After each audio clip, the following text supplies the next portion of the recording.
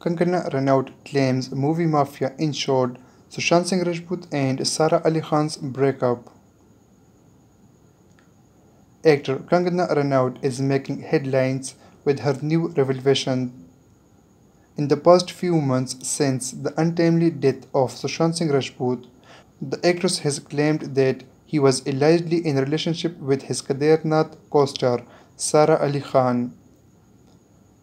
Now, in her fresh interview with Times Now, the actress has claimed that movie mafia, a term she has been using for those who targeting outsiders, ensured the breakup of Sushant Singh Rajput and Sara Ali Khan, the movie mafia that banned and troubled Sushant Singh Rajput. I have spoken openly against them when he was dating Sara.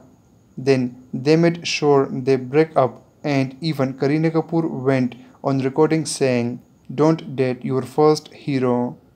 Openly, the character assassinate you and ridicule you.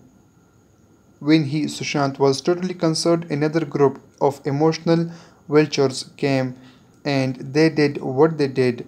The same gang is targeting me too, Kangana said. When Sara Ali Khan has not yet spoken up on these relationship rumors.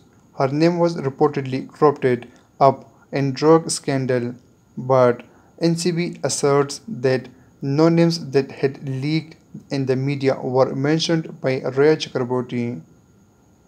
Please subscribe my channel and hit the bell icon to get more updates.